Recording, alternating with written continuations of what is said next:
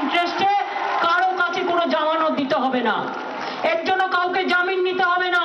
যে একে জমিনদারি করতে হবে, আমি টাকা দিলাম, ব্যাংক বলবে, গ্যারেন্টার নিয়ে এসো। গ্যারেন্টার তো আমার সরকার।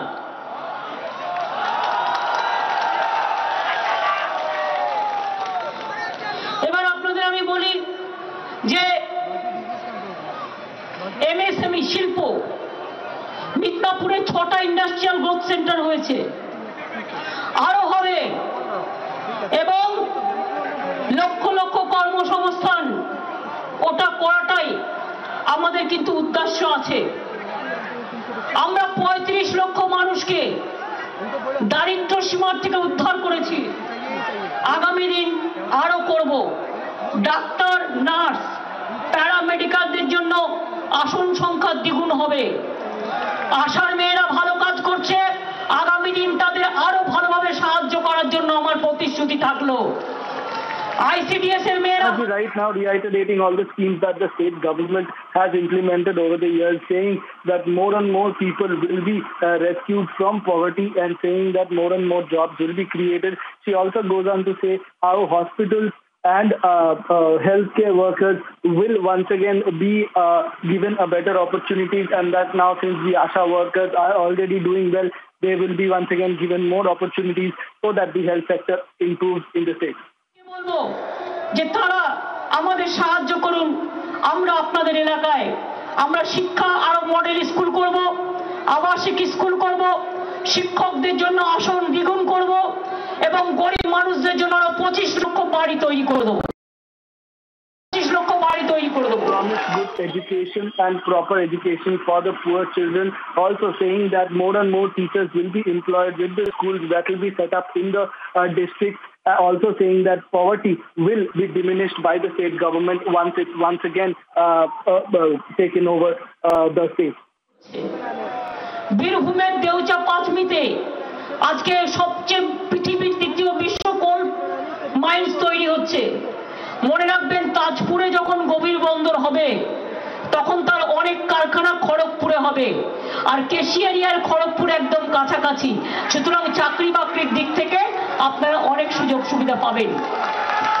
আপনারা জানেন মা বোনেরা যে আমরা কীভাবে যখন আমাদের ছেলে মেয়েরা বাইরে আটকে গিয়েছিল লকডাউনের সময়, হঠাৎ করে নরেন্দ্র মোদী লকডাউন করে দিলেন।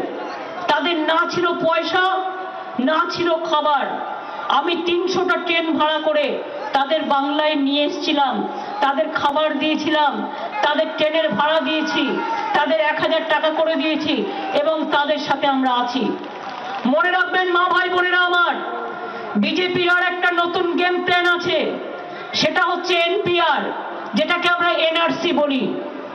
যারা যারা আপনাদের আত্মীয় স্বজন বাইরে কাজ করে, জরি শিল্পে কাজ করুক, বিড়ি শিল্পে কাজ করুক, গয়না শিল্পে কাজ করুক মৃৎশিল্পে কাজ করুন ভোটের দিন এসে ভোটটা দিতে বলবেন।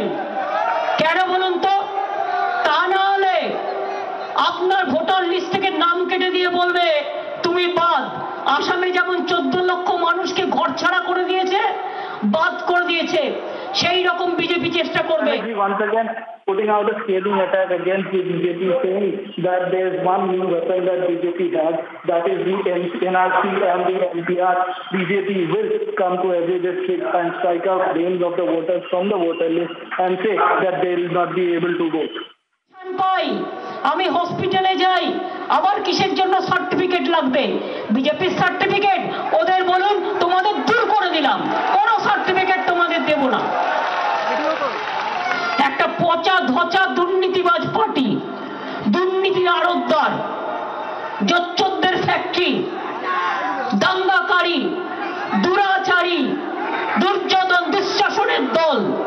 এই দলকে একটি ভোটও দেবেন না। যদি বিনা পয়সায় খাদ্য পেতে হয়, বাড়িতে রেশন পেতে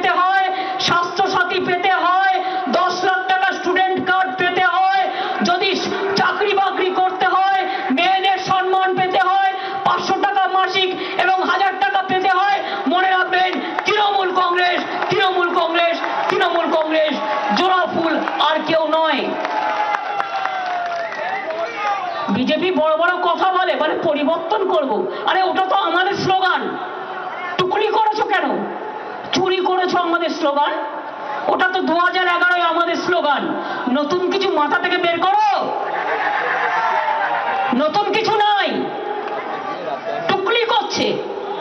আর টুকলি করছে, আর বাইরের গুন্ডারা, বহিরাগত গুন্ডারা এসে এলাকায় এলাকায় গিয়ে মিথ্যে কথা বলছে, কুৎসা রটাচ্ছে ভয় দেখাচ্ছে কি আদিবাসী ভাই বোনেরা আগের বারে তো দিলীপ বাবুকে ভোট দিলেন এখান থেকে দেখলেন তো আজকে দলিতদের ওপর সবচেয়ে অত্যাচার হচ্ছে কোথায় বিজেপির রাজ্যে uh, Mamta Banerjee at uh, Mednipur in Bengal. And of course, uh, the rally is continuing in Bengal. Earlier in the day, we saw uh, Prime Minister as well uh, in Purulia, and now Mamta Banerjee in Mednipur.